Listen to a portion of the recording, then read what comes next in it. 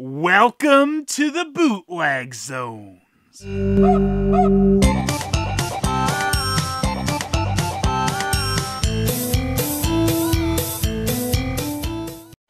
Pepsi Optimus Prime? Are you kidding me? What a ridiculous bootleg! Oh, right. This was an officially released product. So, here we have Pepsi Optimus Prime, or Pepsi Convoy since I've got the Japanese version. There was an English release of this guy as well. The main difference was he had shorter smokestacks and he didn't come with Pepsi Twist. This box will make about half the jokes for you because really, Pepsi powered convoy rolls into action to quench the thirst of all sentient beings. Wow, Thanks, Pepsi Convoy. You're the worst. Uh, I mean, best. And for any of you unaware, this isn't the first time Pepsi has been paired with Optimus Prime. Because on the back of the box, they show you where the inspiration for this silliness came from. I assume that's Japanese there for yes, this really happened. So during G1, there was a mail away order to get an Optimus Prime, and he came with a Pepsi sticker for his trailer. But other than the Pepsi stickers, there really wasn't any difference with the figure. Also, there was a Canadian version that came with a much larger Pepsi sticker that covered the whole side of the trailer. But that was hardly enough Pepsi on Prime, so much later, we got this. The collaboration between Pepsi and Convoy finally becomes a reality in 2005. Wow, I guess this is the real disaster the Transformers movie was predicting. It is the year 2005. Optimus Prime has completely sold out to Pepsi.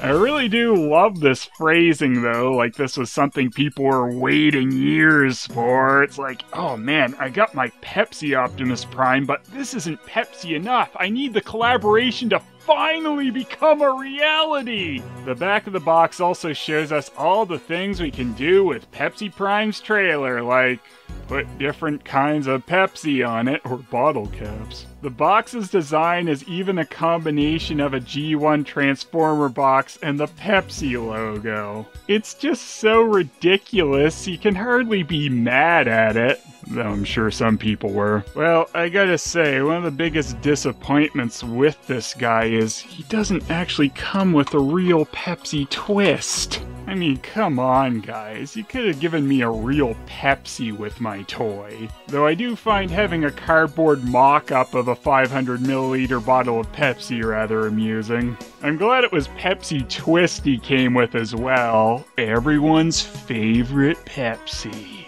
Except mine. Pepsi Convoy comes with a sticker sheet full of Pepsi logos, if the toy wasn't Pepsied up enough for you, I suppose. Oh, and also an Autobot logo, but who cares, right? Pepsi Convoy also comes with some transforming instructions, but more importantly, some Pepsi instructions. We also get told where some of the stickers are supposed to go, like these are supposed to go on his arms, and these are supposed to go uh, up your ass. Pepsi Convoy also comes with a bio and tech spec card, which, wow, I've got to tell you some of the story for this guy. Pepsi Convoy has but one mission to bring cool, refreshing carbonated beverages to the thirsty sentients across the galaxy. With his powerful CO2 gun fueled by the massive bottle station, even the mightiest of thirsts shall be quenched.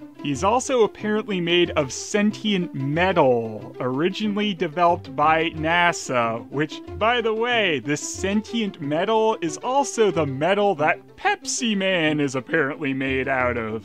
I'm glad Pepsi Convoy has such a cool brother with such an awesome game. There's also a storyline with this guy that I feel inclined to tell you a bit about. So, in the KISS players, Galvatron apparently crashed into Tokyo, devastating the city, which gave the Japanese people a negative opinion of all Transformers. So, an Autobot decided to become Pepsi Convoy To improve Autobot human relations. You truly are the gift that just keeps giving, aren't you, Pepsi Convoy? Alright, so let's talk about the actual toy here and how much they Pepsied up the G1 Optimus Prime. As you might have noticed, the whole front of his cab is actually designed like the Pepsi logo. And he does have an Autobot logo on one side, but on the other, it's another Pepsi logo. Surprise! Also, his license plate is Pepsi, but I'm sure at this point that surprises no one. Pepsi Convoy does have a rub symbol on top of them, and while most of the time I think it'd be pretty obvious which faction Convoy belongs to, this time I'm not so sure. Oh, well, there you go. Some place they didn't think to put a Pepsi logo. I'm pretty sure most people know how Optimus Prime transforms, and his transformation is a pretty simple one. But of course, you do have to attach Prime's hands after you've transformed him. And I've got to say, I do rather like the metallic blue they made Pepsi Convoy's hands. But, oh wow, are you serious? Little Pepsi globe on the sides of his head? You're amazing, Pepsi Convoy. There were a few different versions of Prime's gun released over the years, and as you can see, the Pepsi Prime's gun is a much fatter one than my G1 Prime's here. But I suppose it needs to be fatter because, after all, it's a CO2 gun.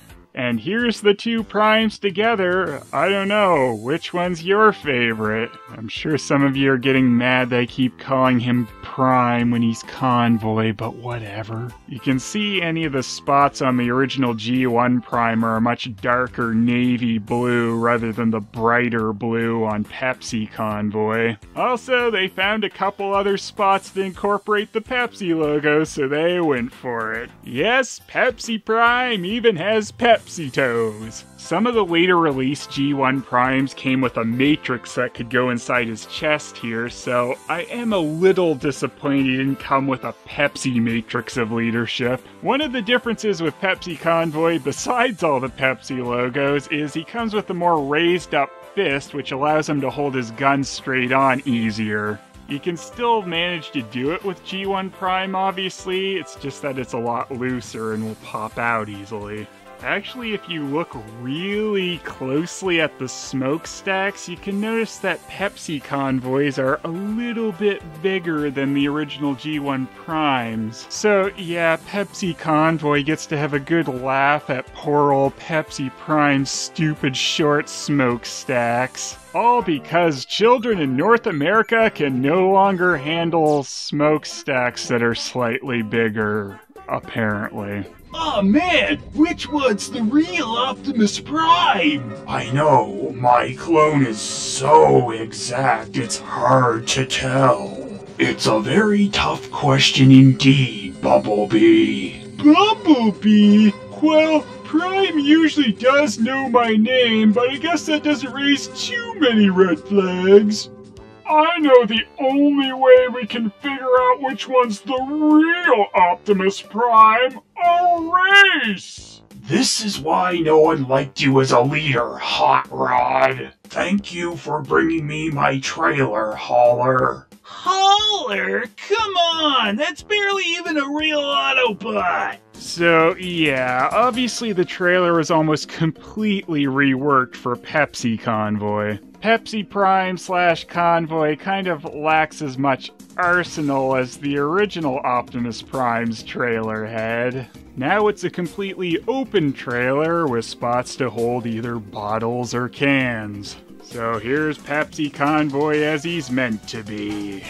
But seeing as this is G1 Prime, let's kick it old school. Or retro, even. Pepsi is the right of all sentient beings. And I know I'm not the first person to make that joke. I feel bad that I don't have Pepsi Twist to put in this guy, but I got a Pepsi Lime. That's close enough, right?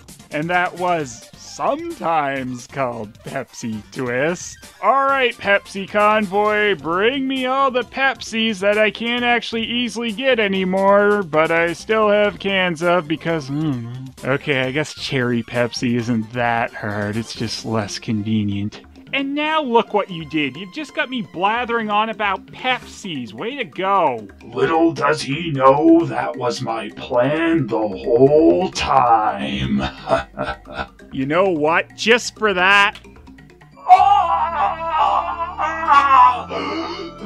Power aiding until the day till all colas are Pepsi. They looked at that old silly edition with a mail away order prime and then took it to the max. Pepsi Max, that is. Ooh, what a twist!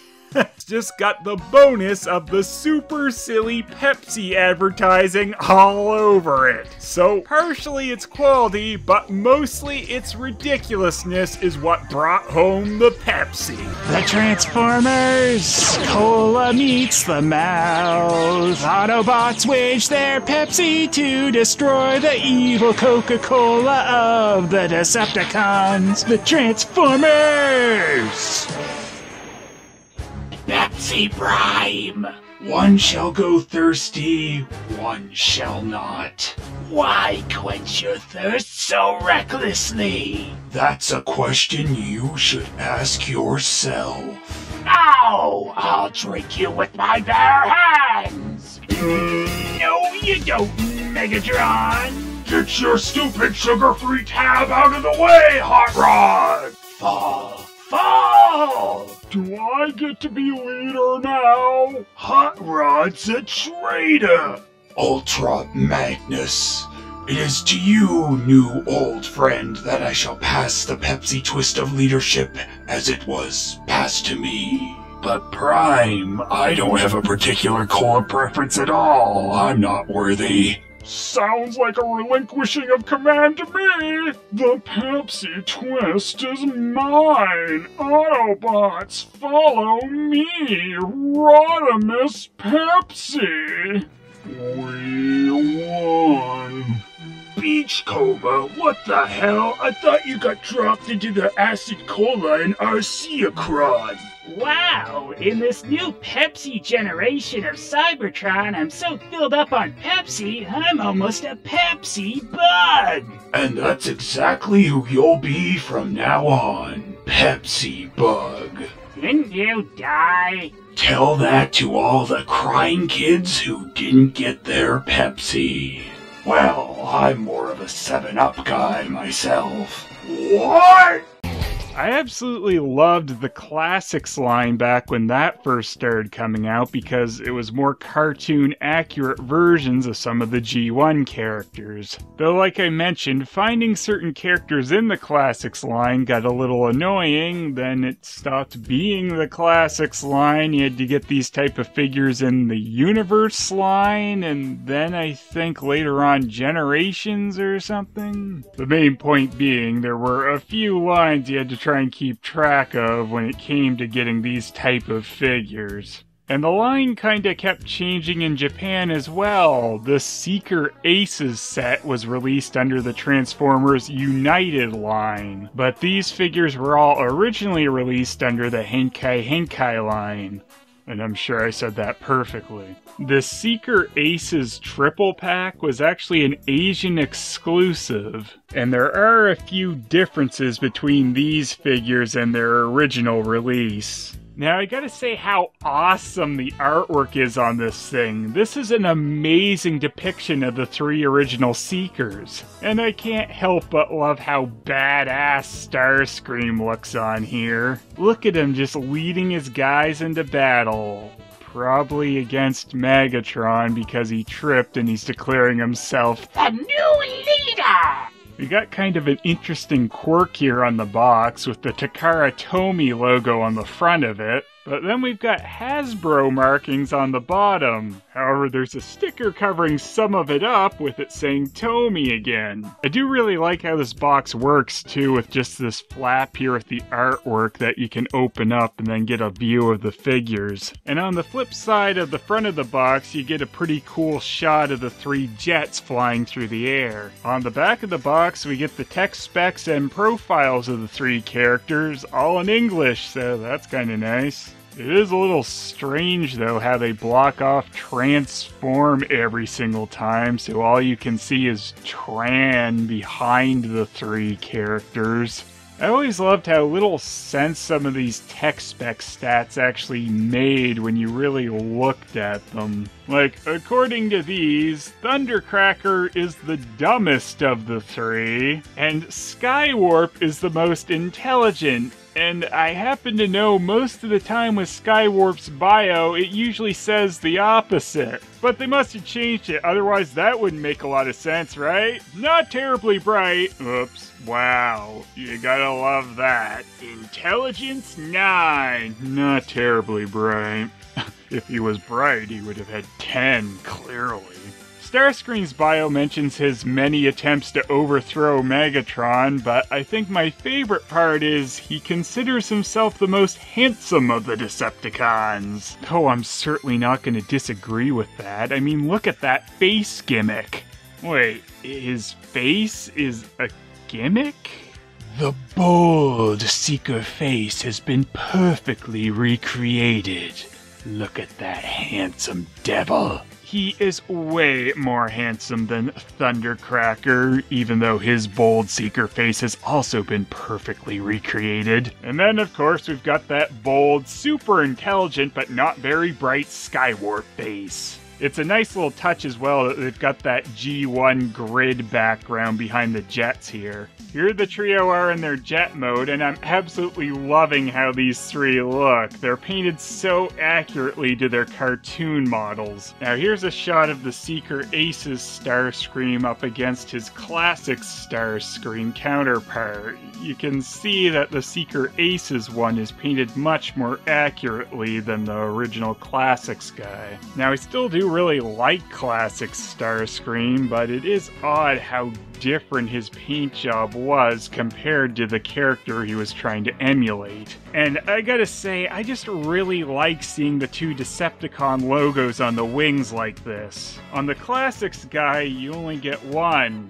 Sorta. It was cool and all that they were doing the rub symbols again on these guys, but their placement kind of left something to be desired, as on Starscream here, this just seems a little randomly slapped on. There's also a few points where they went more for G1 toy accuracy, like the blue tip on the nose cone, whereas this one's got the Decepticon logo on the nose cone like the cartoon sometimes when they felt like putting it there anyway. To really nitpick as well, you can see black for part of Starscream's head mode in his jet mode on the Classics guy where you can on the Seeker Aces one. Also, the shade of gray is slightly different on these two, with the Classics guy being a little more blue in hue versus the Seeker Aces a bit more yellowish tone. Skywarp and Thundercracker have had the same treatment versus their Classics counterparts, though Thundercracker in that line was a little more accurate, he just didn't have the Decepticon logos on the wings. One of the things I really liked that they added in jet mode was these Decepticon logos on the bottom side of the wings as well, just as another nice little touch.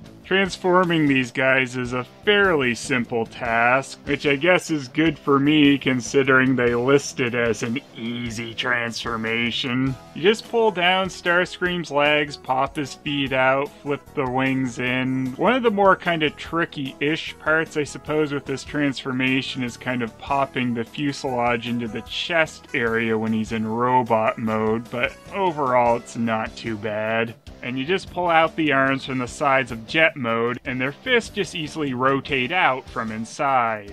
And now to transform Skywarp and Thundercracker. There! I assume you guys are cool with that. I promise their transformations aren't that much different than Starscream's. So one of the major differences with the figures in the Seeker Aces set versus their Henkei Henkei releases is they've got a much more metallic paint job. And I absolutely love it. These three look awesome with that. It is funny to me how much I like these three characters, even though Skywarp and Thundercracker kinda got the shaft later on in the series. Hell, one of the last times Thundercracker even said anything in the show, he didn't even have the right voice. And after the movie, Skywarp got turned into Cyclonus and Thundercracker into Scourge. Maybe, probably, whatever. I guess I've also always been kind of a sucker for recolor characters because, I mean, Mortal Kombat did the same thing with the ninjas and I loved them as well. Now, while I do absolutely love this mold for the Seeker characters, it does kind of have a couple flaws to it. One being that it's kind of hard to move the arms without having them bump into the wings. But they did at least think about that a little and the wings easily bend back when you've got their arms more straightforward like this. Another little nitpick about the wings is when they're in robot mode, their Decepticon logo is actually upside down. Though those are usually covered up by the arms, which is another little nitpicky thing that I don't really like. On the actual G1 toy for Starscream, you could easily see the Decepticon logos on the wings and they're the right side up of course, his wings were lower than they were on the cartoon model, so you can't have everything. Unless, of course, you get the Masterpiece toy, whatever. And you know, I always liked Starscream, Skywarp, and Thundercracker, but I never really cared for the cone heads. And in G1, those were pretty much the exact same toy. They had some different wings and stuff, but here's how you made a cone head versus a regular Seeker. Ta da! Cone Scream! Ramjet has fallen! I, Cone Scream, am now your dunce cap leader! I always assumed off screen that Starscream, since he's the air commander, probably sent Coneheads on stupid missions that he didn't want to bother Skywarp or Thundercracker with. Because they were totally buddies all the time in the series, right? Whatever. Alright, now let's compare Aces and Classic Starscream a bit in robot mode. Once again, you can see there are a couple details on Classic Starscream that seem to emulate the G1 toy more than the cartoon model. Like the kind of goldish spot on his kneecaps is a bit more like the stickers on G1 Starscream. Also, the golden detailing inside his shoulders again remind me of a sticker on the G1 toy. Now, because there was that little black spot on the nose cone in his jet mode, classic Starscream does look a little better from a profiley shot like this. However, straight on, yeah, I feel like there's no real contest and the Ace's Starscream's face looks much better. I guess I can't really argue with their the bold Seeker face has been perfectly recreated. And while just pretty much all over, I in general prefer the Ace's Starscream I do kind of like this blue detailing on his shoulder cannons that is just flat gray on the Aces one. it's kind of funny too that with the more metallic color scheme on the Aces guys, that this is the one that has the metallic coloring on the shoulder cannons. Though my classic guy came with two cannons for the same arm, meaning the design that's facing forward will never match with them. So while this is a bit more accurate, it is a little flat looking. If they just had the chromed stuff at the top, it'd look nicer. But hey, at least I didn't get two for the same arm this time. I will admit that's not something I really thought about with my classic Starscream before, but now that I see it, it bugs me. Overall, Ace's Starscream's paint job is just a lot nicer than the original Classics one. Not that I dislike Classic Starscream, he's been my favorite Starscream that I've had for years. It's just, this is my new favorite. Oh, Starscream, we just got our original bodies back. Do we really have to help you with another harebrained scheme to try to overthrow Megatron? You two owe me for tricking stupid Unicron's head again into turning you two back, so yes! Ah, don't worry. I think this plan of Starscream's will work out just fine, Thundercracker. Treacherous as always, aren't we, Starscream? You were saying, Skywarp? Oh, tech spec lied to me. I'm not that bright. Megatron? Is that you? Yes, of course it is, Starscream. How could you possibly not recognize Megatron? Because you're a tank suddenly. But this body is an homage to my brilliant Generation 2 toy because my gun form was too dangerous. I'd say you're looking awful geeky right now, Megatron. Silence, Thundercracker, or I'll make you watch our enhanced stories with the Cybernet Space Cube. I didn't think those were that bad. This is why no one respects your opinion, Skywarp. If they'd made me a tank, then those stories would have been worth something. yeah, you were listening to me a lot when I was Cyclonus, you crazy bastard. How did you turn back from Galvatron anyway, Megatron? That's a really simple story, actually.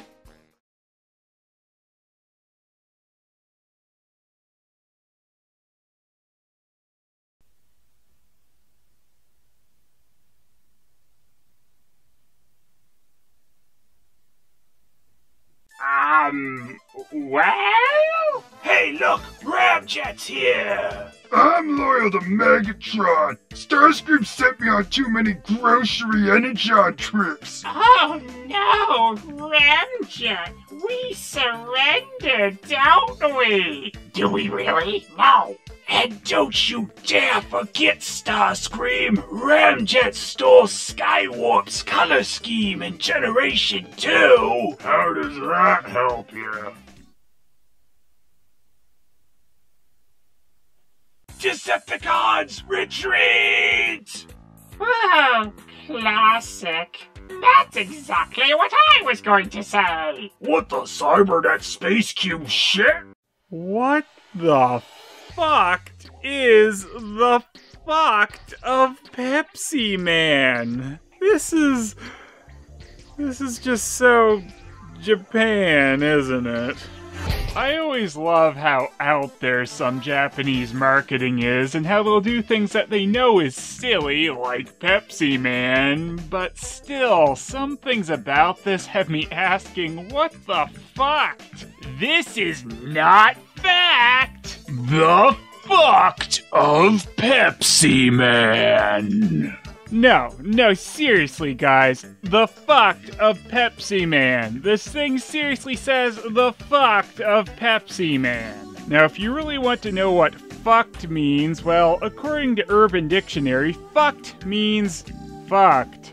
Now, besides that bit of obviousness, fucked could also be an acronym for failed under continuous testing. I don't know if that's the best marketing strategy to say that your mascot has failed under continuous testing, but it's the thing that fits the best, besides him being fucked. Seriously, Pepsi Man, what the fucked? Okay, I think I almost have that out of my system now, so let's talk about some of the other funny things on this guy. One being that this figure is apparently supposed to smell of Pepsi Cola, which better mean he's going to smell like classic Pepsi and not newer Pepsi. But yes, the fact, or I guess I should say fucked, that this guy is supposed to smell like Pepsi is kind of amazing. And just in case you thought I was making this video under the wrong show, prepared under the authority of PepsiCo as part of their ad toy series, which I guess was a thing. They did get a good company to make these things too, as these were made by Bandai in 1998. And that was the first year for the blue Pepsi can, which explains why we still got the white 90s Pepsi can with this guy. You guys are pretty lucky to be seeing this too, as it was a secret model and limited edition.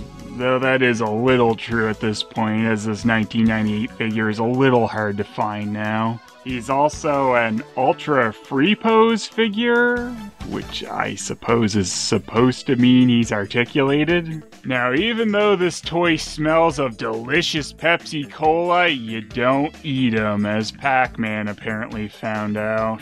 I uh, don't know about the lips thing there, Pepsi Man. It makes you look a little bit like a blow up sex doll. As seen on TV! Do they mean this figure was on TV, or do they just mean snowboarding was on TV? Pepsi Man TM is such a refreshing guy that he delivers Pepsi Cola to thirsty people. He can pop up Pepsi Cola with schwa action and deliver them around everywhere. According to reliable sources, he is a promoter of Pepsi Cola Company. Really? I thought Pepsi Man might be a Coke guy. And Pepsi Man TM is also such an athlete that he is good at all kinds of sports. Especially, he is so into sideways riding sports such as surfing, snowboarding, skateboarding, etc. He is very confident of his physical ability. His physical ability, like taking a Pepsi. That's right, Pepsi Man has Pepsi holding action. And while we've still got the white can on here, check this out. Coming soon, new blue Pepsi Man. And don't forget now, Available! Head change action figure Pepsi Man! Well, this fucking one also comes with two heads, so I assume he's a headmaster as well. Unless he just likes carrying the heads of his enemies. Though it does look like that one has the power of squeezing his legs and he'll tell you to stop in the name of Pepsi. But just so you know, there are not included in this package. Ah, good old Pepsi Man USA, where he wasn't really used for marketing. This is one of the older age recommendations I've seen from a toy. Guess you don't want the really young ones getting high on the Pepsi fumes of the fucked. Now, my favorite thing on the card, besides fucked of course, is them showing off Pepsi Man's snowboarding action. Wow, cool action! Now developing new model. Oh my god. Apparently, Pepsi Man was a little overconfident of his physical ability. But yes, this Pepsi Man figure really comes with a crutch and a cast. Alright, here's Pepsi Man Unleashed, and he definitely smells, and I wouldn't say that it doesn't smell like cola, but it's kind of more like uh, if Pepsi was a perfume, if that makes sense. There's just definitely a perfumey smell about this guy, while it also making me think of cola, but I don't think I'd want to drink this one. I do particularly like this fucked up Pepsi Man's look with the kind of gradient from the silver going into the cola color. And he does actually come with a small little chain around his neck, which is awesome. And he definitely does have the ultra free pose action. This guy is highly articulated. I mean, hell, this guy even has chest articulation. This pose is definitely missing something, though. There we go. It wasn't quite Pepsi enough at first, which is a little fucked. Stop saying that. This Pepsi Man figure is already pretty damn awesome, but I've got to say, just from handling him this little bit, he's already made my fingers smell of Pepsi Man, and smelling the Pepsi Man stuff off my fingers reminds me a little bit of, uh, weed. Looks like someone got fucked. I apparently can't stop. Pepsi Man's feet just pop off their ball joint at the bottom so he can stick them in his snowboard boots. And those are also cola colored. Hmm, I get the feeling that Pepsi Man's trying to sell me on something. Must be on snowboarding, the most Pepsi of activities. Well, the snowboard is a little fucked as its pegs are shit. Look at this fucked shit. The peg just popped out from Pepsi Man falling over with them in it, so that's real fucking impressive. Though I suppose I can't be too mad when I'm looking at this cola infused sentient metal snowboarding while drinking a Pepsi. The snowboard's design is kinda generic looking, but I do love the underside of it with Pepsi Man giving a thumbs up. Look, Pepsi Man even signed it! Well, that makes up for the peg breaking off. I'm so confident of my physical ability! Oh my god. He'll never snowboard again. This really was the fucked of Pepsi Man. And of course, his cast and crotch are both cola colored as well, because Pepsi Man's got to have a little fun, even though his life is now fucked. And yeah, get any un-Pepsi thoughts out of your heads, guys. Those lips are for nothing but Pepsi, okay?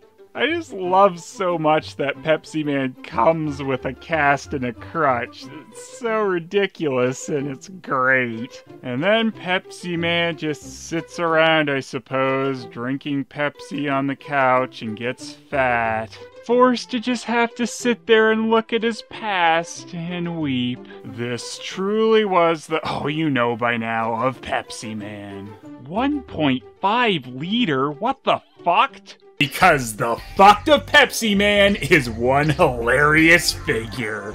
Pepsi one. Pepsi Man, it's me, your sentient Pepsi metal brother, Pepsi Prime. For the love of Pepsi Twist, you need to get out of this slump. I can't, Pepsi Prime. I I made a huge mistake, and I'll never snowboard again because of it. We all make mistakes sometimes, Pepsi Man. The thing is to learn and grow from them. You you don't understand what I've done to myself, and I'm going to be forever left with this cast as a reminder. So what? You were a little overconfident. It happens to the best of us. It wasn't just my overconfidence in my abilities that led me to this fate, Pepsi Prime. Before I went snowboarding that day, I was a little curious about something, and I did something horrible. Whatever you did, Pepsi Man, it doesn't need to define your life, and I'm sure you can move beyond it. I just wanted to know what it tasted like once, so I had a Coca Cola. Oh my god. I'm so sorry! Not good enough. Prepare to get CO2'd to oblivion! Could this really be the fucked of Pepsi Man? Yes, yes it is. watching, and we'll see you in the morning. M-A-G-A.